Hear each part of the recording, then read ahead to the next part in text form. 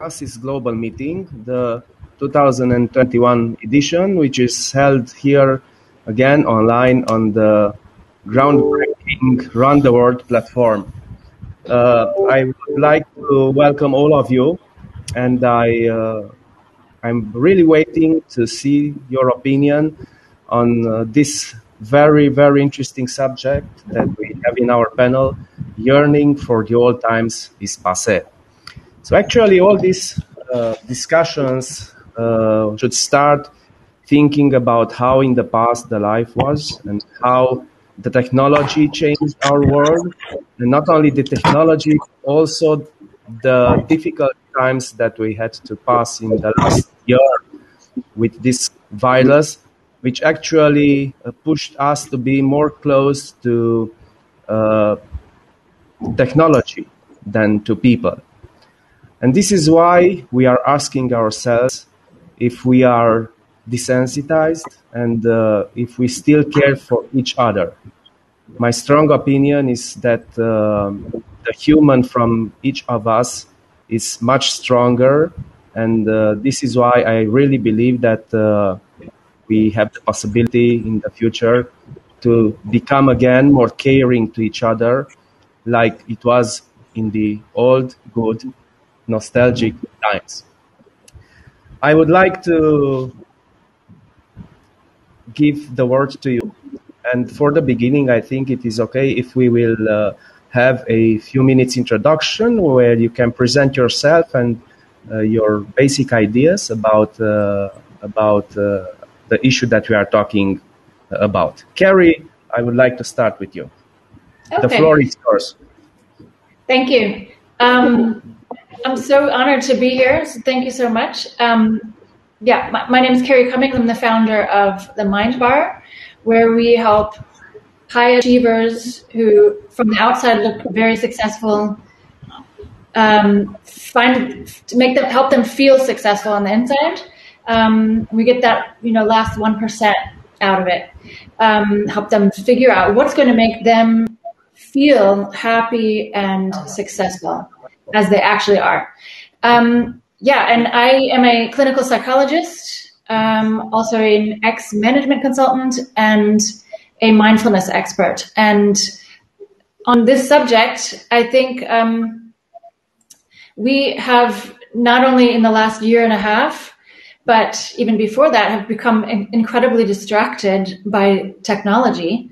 Um, on the one hand, it has made our world very small, and we're very, very connected um, through technology. You know, we, we know what's going on in all parts of the world. If we wanted to, we could find out. Um, we have tons of information. We can connect with anyone like we're doing right now. We're all over the world. Um, um, at the same time, though, um, there's no boundaries, and we there's no boundaries to the information. There's no boundaries to what information we choose to consume, and um, that actually is an overwhelm for our brain, and literally causes our executive functioning to to dysfunction. Um, that just put very in a very simple way, can actually um, impede our capabilities for compassion. It's too much. put it simply, it's too much for us to uh, really wrap our, our minds around. So therefore, we kind of shut down and we go. Our brain goes into efficiency mode, and um, so I think that it's not because we don't care anymore. Um, I think human beings one of the number one needs in as a human basic need is uh, the need for belonging. Um, we're social animals, and um, I think that what what's happening is that all this great technology, which is wonderful, is is is kind of like a layer of, over ourselves um, that is clouding our compassion because it's too much information. And I think the key is finding, getting in touch with our own values again, we do have them, all of us do, um, and learning how to manage our attention. So that's what mindfulness, mindfulness does is helps you focus on the present moment and really know or undistract yourself.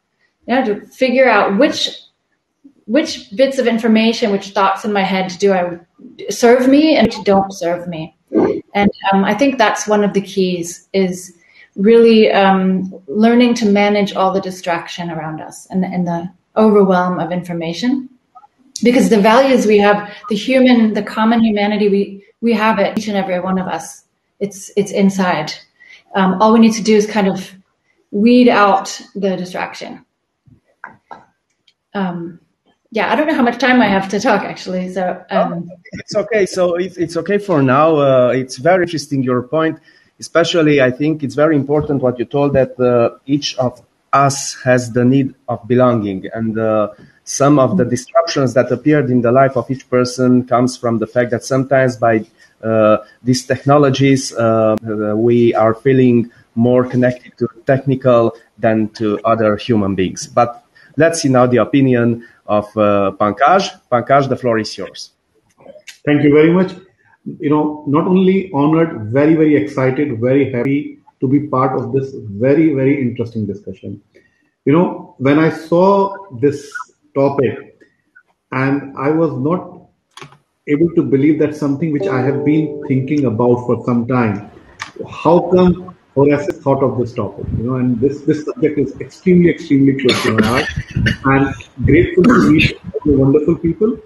So, a very, very brief introduction about myself. I consider myself as a serial entrepreneur who want to work for society. One. Second, I believe strongly that no change in the society in real manner is possible unless the initiative is scalable. So things cannot be just not for profit. They should have an impact. An impact would come if it is scalable, and for scalable, the any initiative has to be self-sustainable, self-sufficient. So my dream is to be known as social entrepreneur. Currently, I'm an entrepreneur and a social person. I'm trying to move towards the marriage of that. I'll, I have been in UAE for 23 years. I think this country has contributed a lot in my thought process because, you know, uh, unless somebody tells me this is the first time I came across where the government has formed Ministry of Happiness. So there is a proper Ministry of Happiness as a cabinet function, which dwells upon not only what we are doing in our work life, this, but as human, as society, as together, are we happy or not? I think this kind of vision, this kind of wisdom is beyond appreciation. This clearly shows that I'm lucky to be part of such a government where not only very wise and visionary leaders are there, but they have capabilities to think beyond social and economic life. I I run a business called Gulf Islamic Investment. Uh, it's I'm a founder of it, and I'm in business of making businesses. So heavily involved in education, in uh, impact investment, in environment investment, in green economy, in initiatives around education for underprivileged. And uh, my introduction would be incomplete without my family. So my wife, my mother, and I have two sons.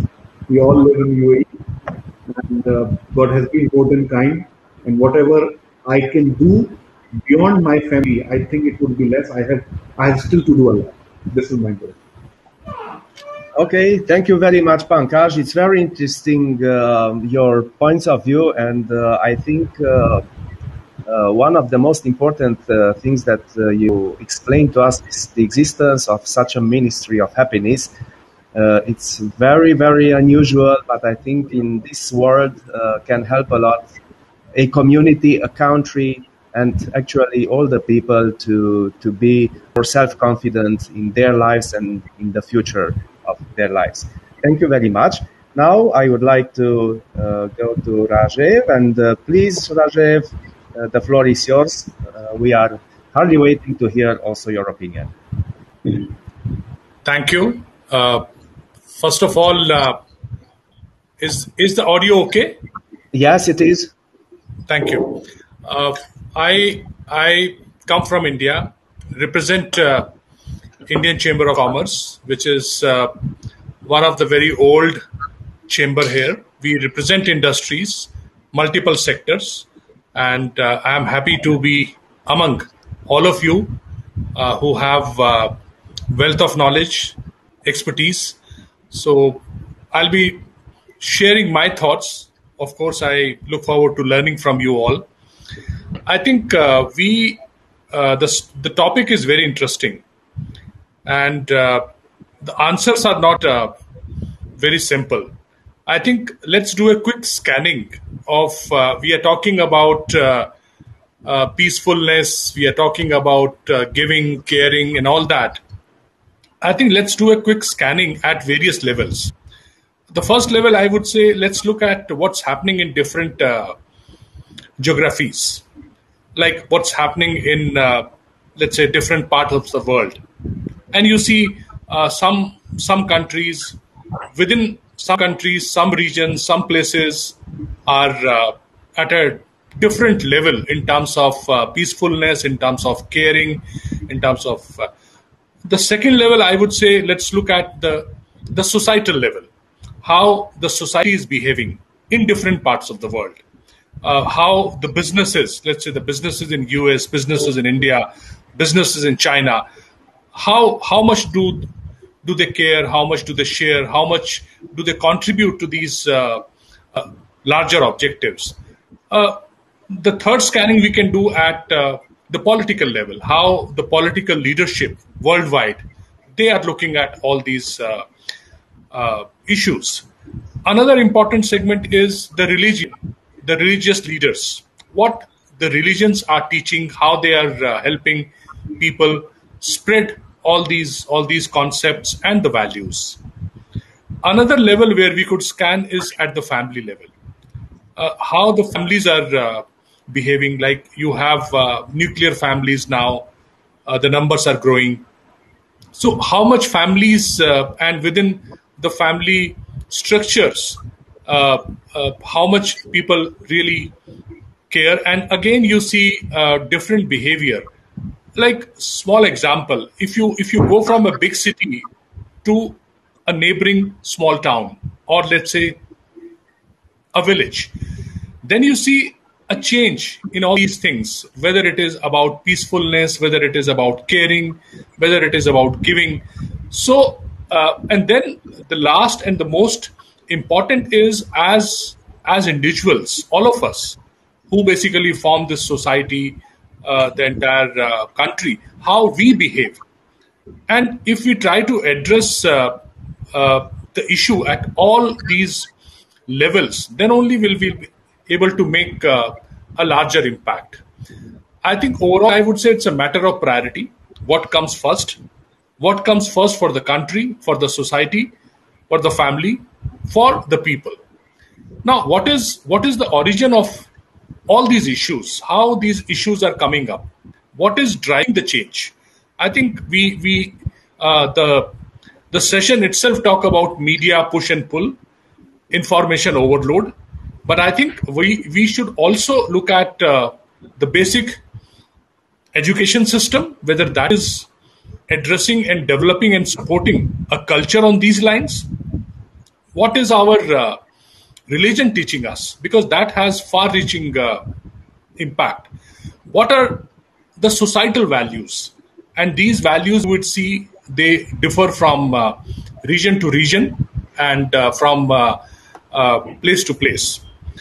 And whether the change is actual and real yes it is because you see the climate change happening you see unequitable growth happening you see reduced tolerance, you see extremism happening, and you see uh, disproportionate distribution of wealth. You see the violence, and you see uh, people uh, differentiate on the basis of caste, creed. Uh, so these are some of the issues I think uh, which one has to look at, and the the solution really lies in all these. So I'll stop here. Thank you. Okay, thank you, Rajeev. It's very interesting, and I really like the idea of uh, approaching uh, the happiness and uh, all these kind of things connected uh, at different levels, including the individual and the family levels.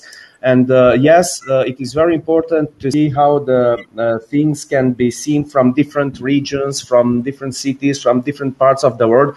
Uh, India is a very diverse country, and in India too, uh, there are many, many differences from north to south, or uh, from east to, to from east to west. So it's very, very correct what you are saying. You know, uh, I'm thinking now to a very famous word which is from China, and the, the, the saying is something like this from a poem that the sunset is infinitely good, but it's just near dusk.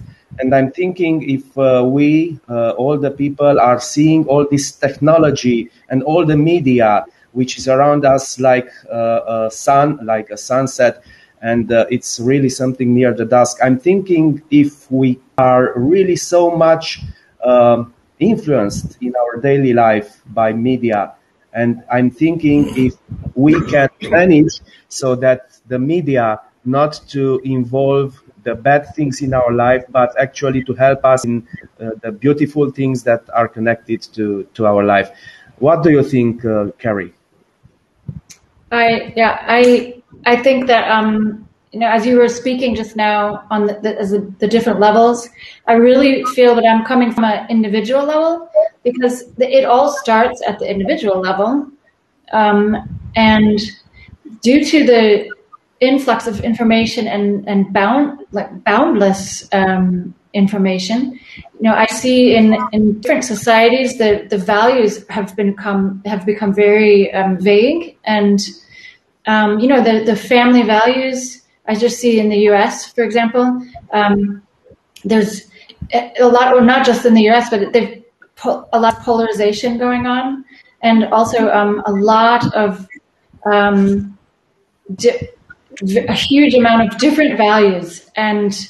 I think that it's absolutely important in the, our educational system to update the educational system for young people to learn how to think critically and to um, really understand the global connections that are out there. Um, you know, our, our world is no longer small, it's, it's expansive. Um, we're connected to everything. And I do think that it starts on the individual level to learn how to critically um, analyze and evaluate what you're confronted with out there because we're losing our core, we're losing our foundation, I think.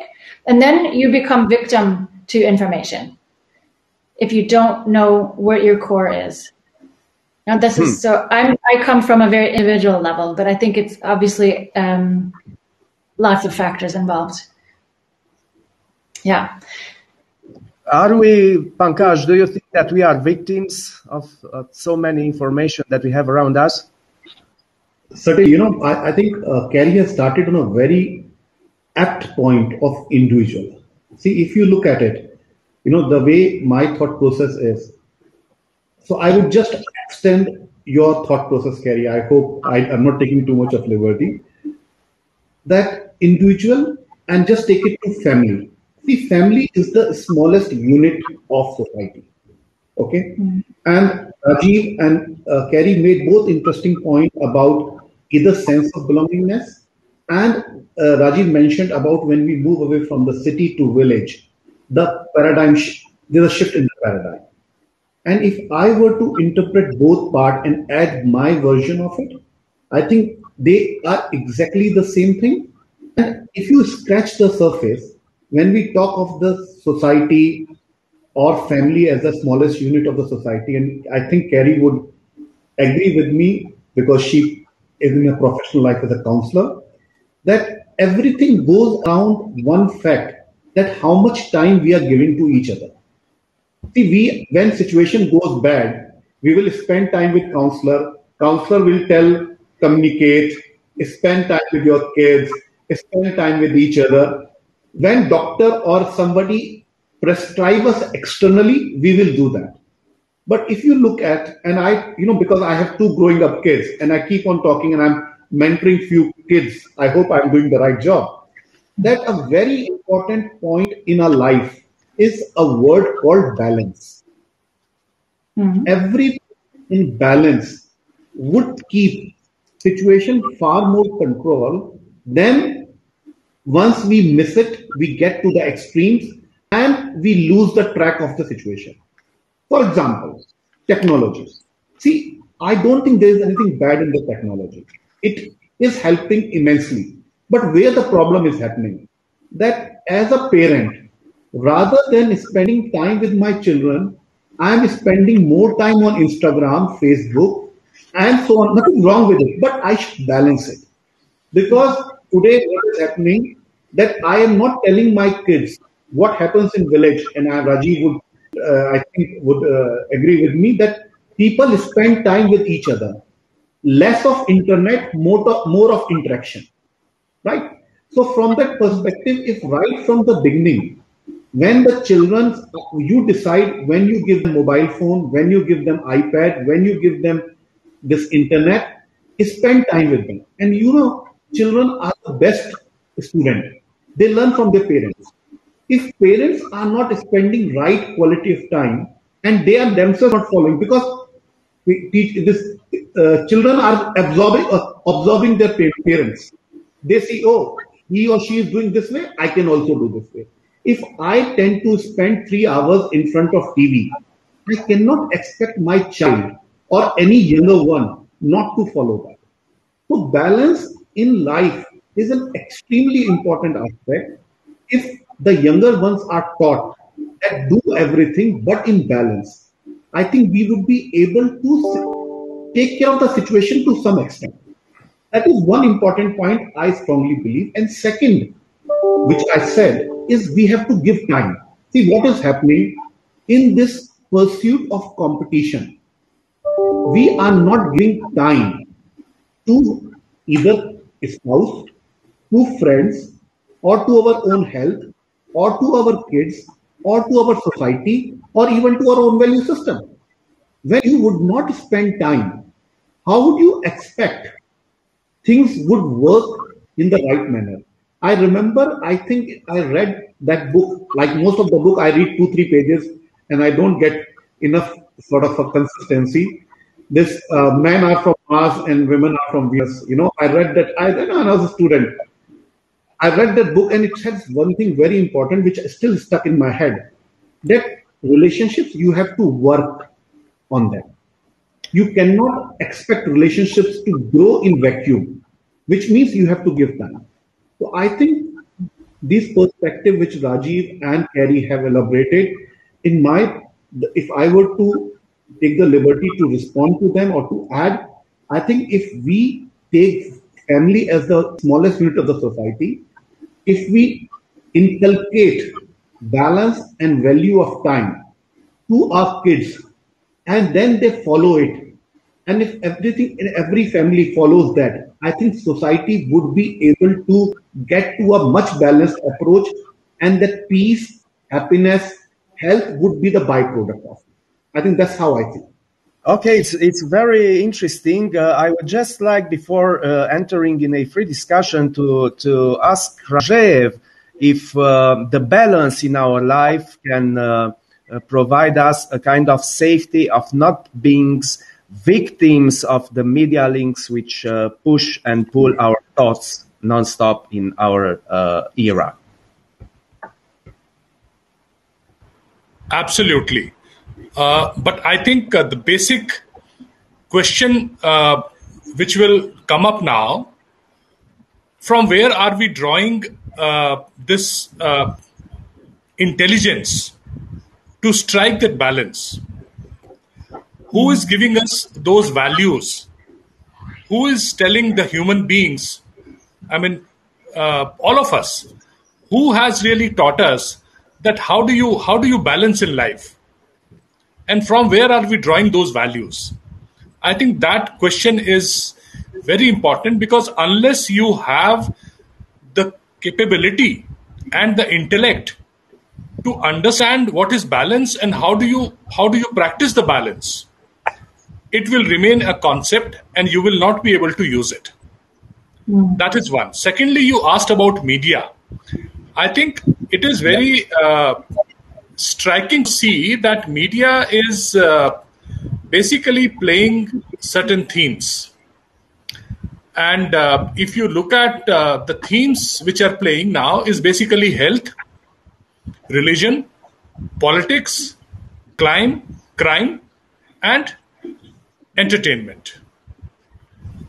And these are the things, these are the agendas which are being driven by different stakeholders, or if you want, you can call them interest groups. Like COVID time, you find a lot of uh, news coming up on health, but this is only happening when there is a there is a crisis. But politics, religion, uh, these are themes. Crime, these are themes which are being uh, driven and uh, people are being fed.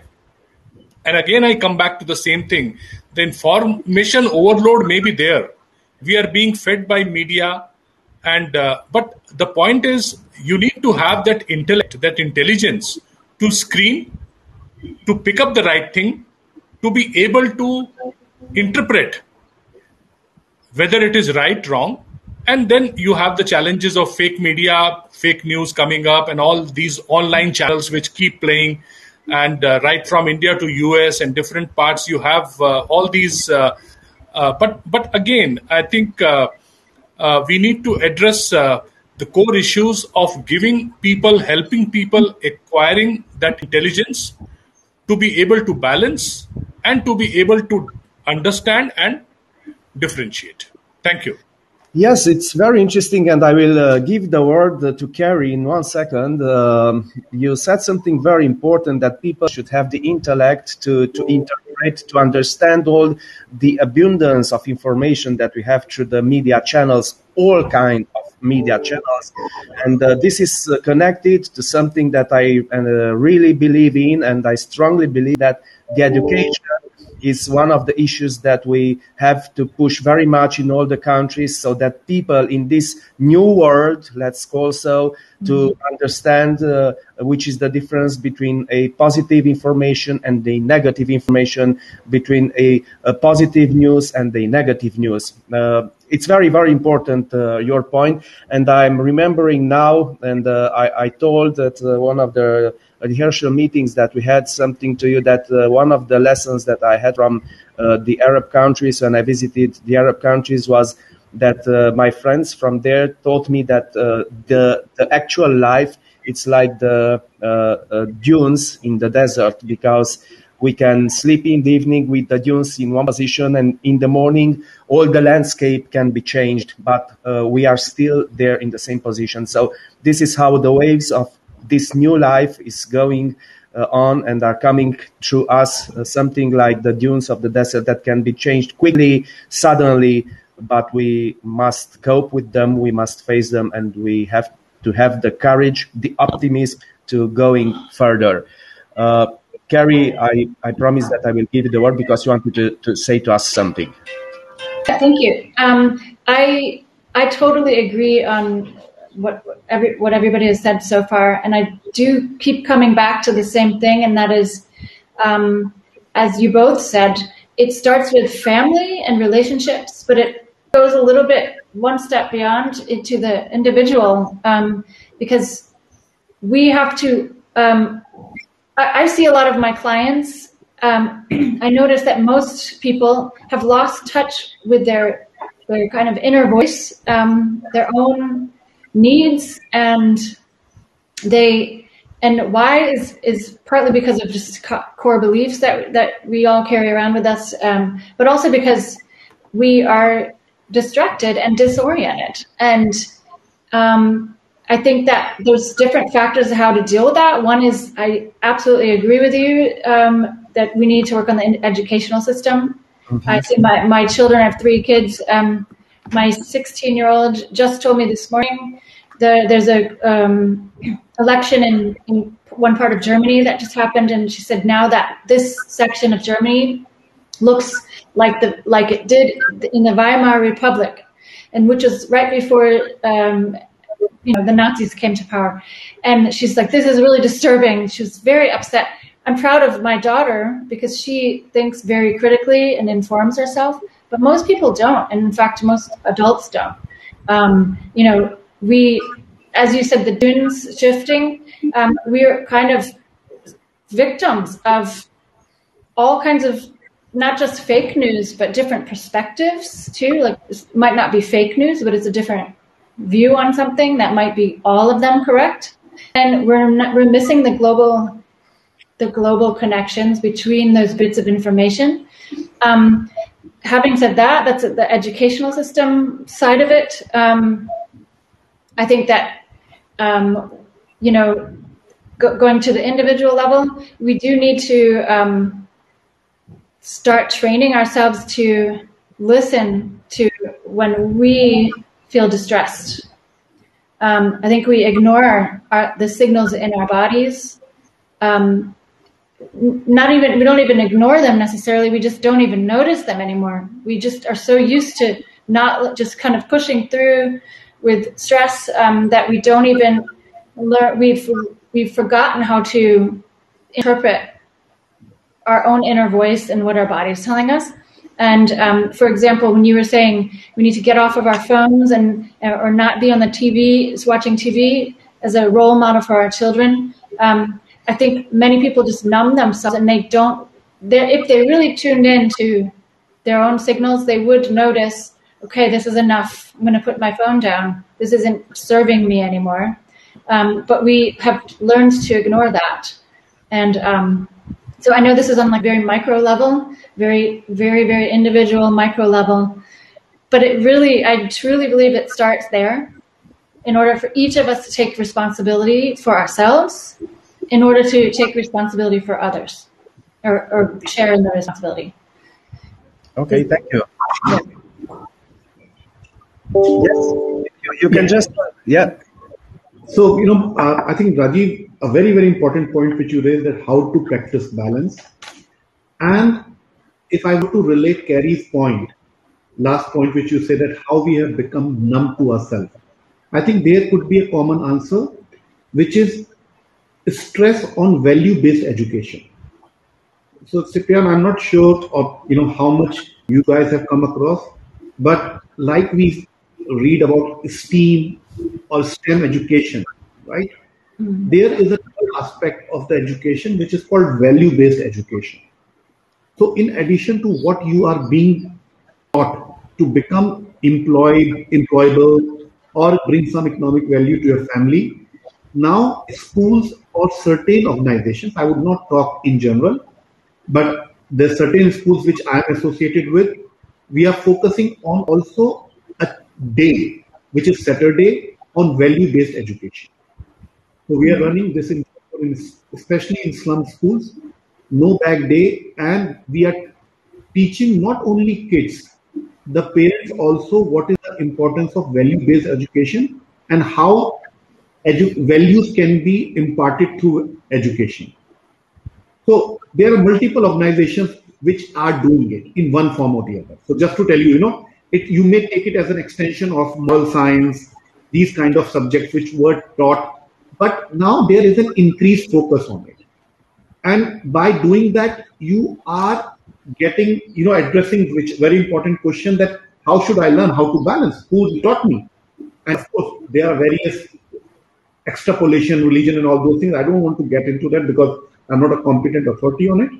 But like you know, very valid point that if we ourselves don't listen to our own as an individual, you know, that yes, I'm not supposed to do what's right or wrong, or I don't have a sense of right or wrong. I would not be able to impart this. And now, second part, I would bring that media thing. See, media is a reflection of society and vice versa. Both are influenced by each other.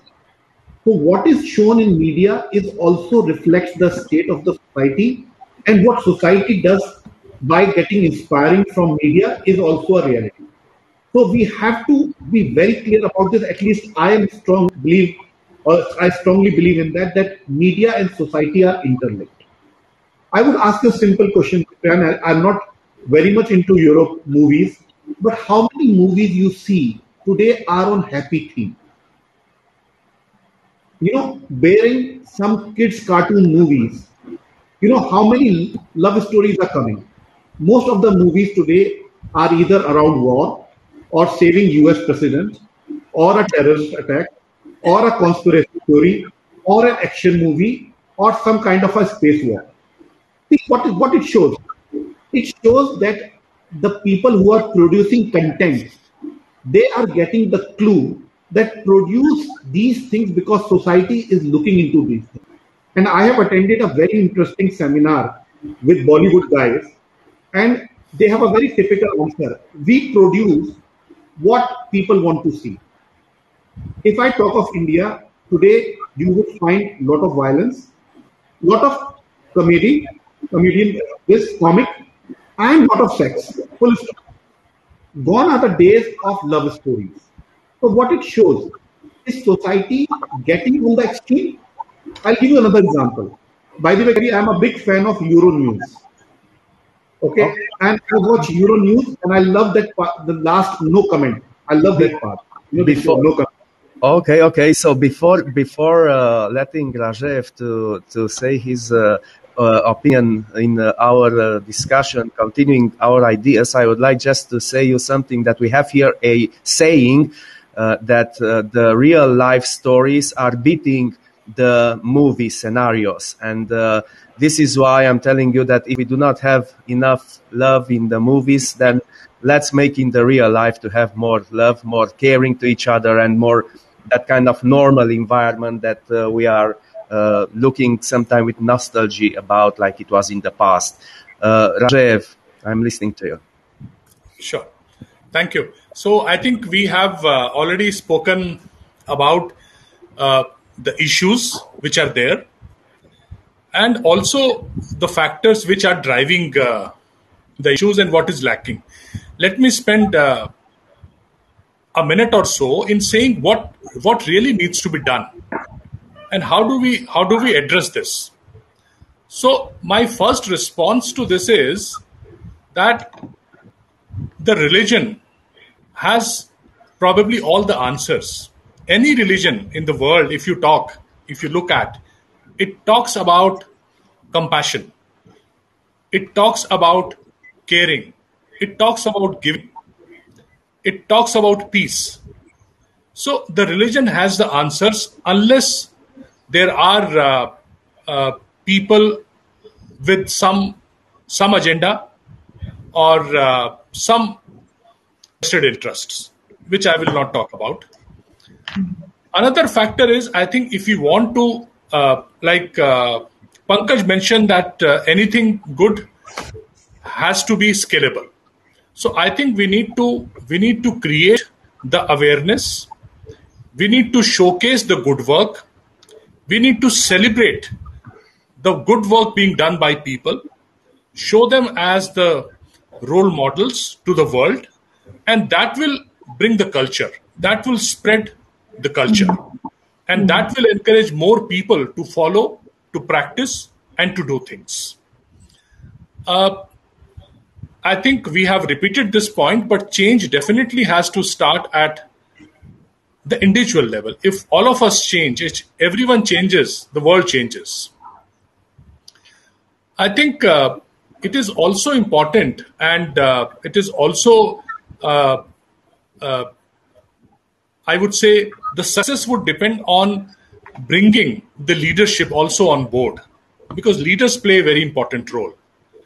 Uh, in terms of uh, working on the people, I would say it's very easy to work on the children and the youngsters because through the education we can give them the right kind of values, tell them how to how to balance, tell them how to screen uh, the info which is flowing into them. How do they how how do they make the right kind of choices? But i think it's also important to uh, bring the the leadership whether that is the corporate leadership whether that is the political religious or the societal leadership we also need to bring them on board because uh, that will drive uh, the right kind of attitude and behavior among the grown-ups at the end, I would say that there is a country which uh, not which does not talk they talk about GNH, and that is gross national happiness. So they, as a country, that is Bhutan. So Bhutan measures the gross national happiness, and they have an index, and they're not too much bothered about GDP. Thank you. Okay, thank you very much. I would like to say before um, going to the conclusions that uh, our colleague Diana, uh, she uh, was here with us but couldn't join directly because of some technical issues.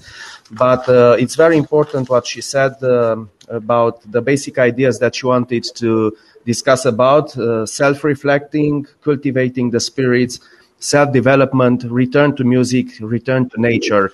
And uh, because she's our colleague, even she couldn't join live now the session, I would like to uh, thank also to Diana because he had the chance to meet in, in the previous uh, meetings that we had. And um, uh, also thank to Frank Jürgen Richter for organizing this fantastic um, panel. I would like one minute uh, from uh, each side because we will have in three minutes our time ended. and I would like to start with Kerri. Thank you. Um, yeah, I just concluding. I, I, think it's a good point to to note the societal um, leadership, as you just uh, mentioned. I think um, that the the media is the societal leadership, and I think it is really important that we that that has more that more positive news has focused because actually a lot of wonderful things are happening in this world that we don't tend to hear about. We usually tend to hear about all the bad news. And um, I think it's a huge responsibility that the media has to um, be kind of a carrier of, of uh, positive society, global society, in uh, not only also reporting on good news, but also um, putting out the right role models in the entertainment industry, um, showing leaders of minority, um, you know, showing um, different countries collaborating and actually getting along. Um, and I think that there's not enough of that. And I think that the media plays a huge role in that. Thank you. Pankaj, your conclusion. Very quickly, I think in adding to what Kerri said, we should also, like channel of tourism and travel and food, we should, should have channels of positivity. One. Number mm-hmm. two, a very important, I'm going back to 60s, India promoted something called principle of coexistence. Panchsheel five principle coexistence. We should believe in coexistence, not just in competition. know that. Because competition is leads to death, cooperation leads to life. Third, we have to focus on tolerance and compassion. This will bring middle way. We both have to share life. We all have to share life. And last point, value-based education, value-based education, value-based education. Thank you very much. Now, please, Rajeev, your conclusion. Absolutely. So my point of view is that uh, let us let the change begin at our own end first. Let us all agree that uh, we will change. We will uh, inculcate all these values in our daily life. Second thing, what we can do is people people around us with whom we work, with whom we deal, who we meet, interact with. Let us also spread and share these values. All of us have uh, also in our uh, work life we interact with people we also have uh, to some extent some influence on uh, uh maybe some people some people around us. So let us also try to use the influence and uh, try to make an effort so that things can scale up. So i would say that these are the three things which we can do. And then of course there are free media channels which we all can use to spread the good word and to spread the good news. Thank you. Okay, thank you very much. I would like to thank you all for attending this fantastic panel. And uh, uh, the most important thing is that we have very, very good takeaways out from our discussion. Uh, thank you again to everybody, and thank you to our chairman, Dr. Richter, and also to the other attendees who are listening to us. Thank you. Have a nice day. Thank you. Thank you so much. Thank you, Pankaj. Great to see you. Thank you, Kenny. Thank you. Thank you, Ciprian. Thank you, Chair. Thanks, everyone. Thank you. Thank you. Thank you.